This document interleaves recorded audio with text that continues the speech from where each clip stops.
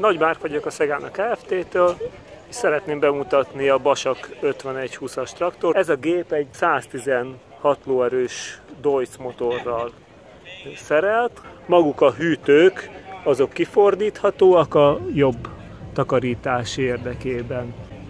Klíma szűrők láthatóak. Ide előre ki van hozva a levegőszűrő is, szépen könnyen takaríthatóra, illetve erről látszódik a kompresszor turbo. Tehát ez egy négyhengeres motor, mint itt ahogy oldalt látszódik is, ez AdBlue-val is szerelt, illetve van egy 200 literes üzemanyag tartája.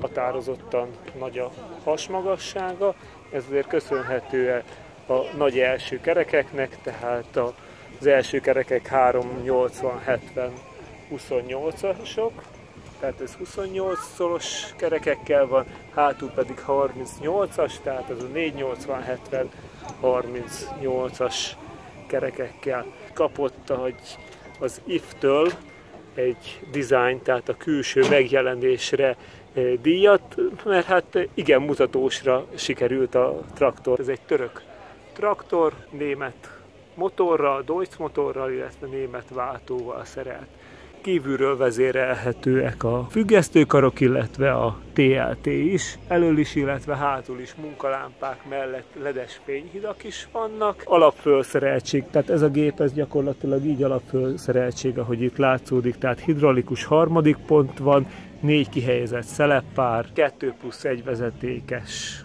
fék, van rajta légfék, egyébként ez belülről majd megnézzük lekapcsolható. Itt a függesztőkarok is kellően robosztusak, alsó húzó, illetve pótkocsi vonófej is megtalálható.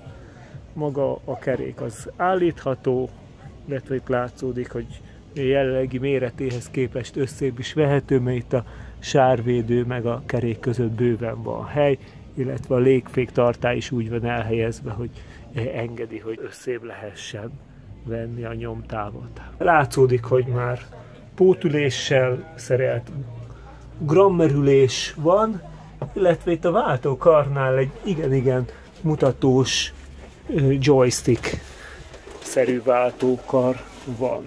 Kormányoszlop szépen állítható, van egy lábpedál, ezt megnyomjuk, és akkor szépen állítani tudjuk a kormányoszlopot. Maga a műszerfal az színes kijelzős. Irányváltásra ez a kar szolgál, tehát itt van egy elektromos irányváltónk, ami terhelés alatt kapcsolható.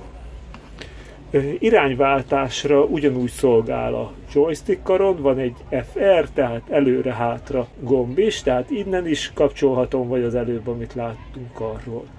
A terhelés alatt kapcsolható fokozatokat pedig itt plusz-minusszal tudom állítani, négy terhelés alatt kapcsolható fokozat van. Innen állíthatom az automata váltó funkciót, ez csak a terhelés alatt kapcsolható fokozatokra áll, illetve itt van egy kézi kuplung. A kézi kuplungot benyomva választhatok itt a mechanikusan a négy fokozat közül, tehát ez most benyomva a kuplungot, és akkor szépen tudom így a, a komplett váltókart mozgatni. Itt található még a motorfordulat memorizálás, két motorfordulatot is tudok memorizálni, itt lehet a függesztőkarnak a mozgatását, tehát emelés, sügyesztést, illetve két kihelyezett szelepet, tehát az elektromos szelepeket is tudom innen vezérelni. Most hány fokozatos is ez a váltó? Most itt néztük, hogy 4 power shift van és 4 tartomány, de ez összesen valójában 32 fokozatú. Az ülés másik oldalánál van egy előválasztókar, itt van, és akkor itt van egy nyúl béka, tehát egy gyors-lassú fokozat is. Tehát így jön össze, hogy 32 előre, 32 hátra fokozat van. Itt oldalt a konzolon találhatunk egy kézigázkart, ebben tudok adni gázt, illetve itt van ez az automata váltó funkciónál, hogy mekkora terhelésnél szeretnénk, hogy váltson. Tehát lehet kisebb terhelésnél, hogyha például csak közúton közlekedünk magába a traktorral, vagy lehet nagyobb terhelésnél, amikor mondjuk szántunk, tehát nehéz talajmunkát végzünk. Három kihelyezett szeleppár az mechanikus vezérlésű a gépen, és ezeknek van fix pozíciója is. Tehát, hogyha előre rakom, ez egy fix helyzet, egy úszó pozícióval is rendelkezik. Amit mondtam, hogy a légfék az lekapcsolható gépen, azt ebben a kapcsolóval tudom a légféknek a kompresszorát lekapcsolni. Hát ezt üzemanyag takarékossági szempontokból helyezték el a gépen. Itt kapcsolhatom az első kerékhajtást, ennek automata módja is van, diffizár szintén.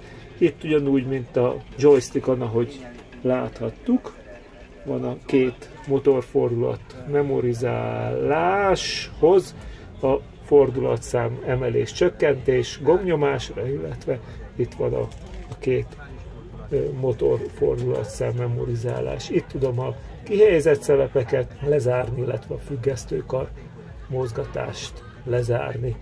TLT-t tudom kapcsolni, illetve ha van forron TLT-nk, akkor azt itt tudom kapcsolni. Ezen a gépen sajnos ilyen nincsen. Van itt továbbá áramtalanítónk, munkalámpák, első, hátsó munkalámpák, illetve a fényhidaknak a kapcsolása, illetve villogót is tudunk kapcsolni.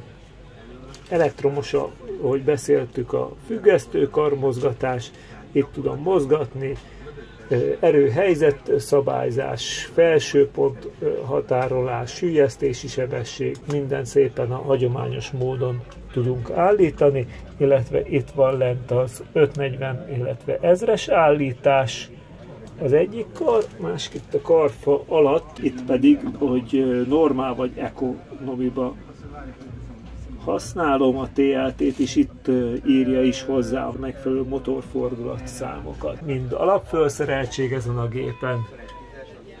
Rádió is van, illetve, ami mindig kérdés, a klíma, természetesen van klíma, bebasztó digit klíma van. Itt felülről ö, vannak a, a légbefúvók. Nagyon szépen köszönöm, hogy megtekintették a videót.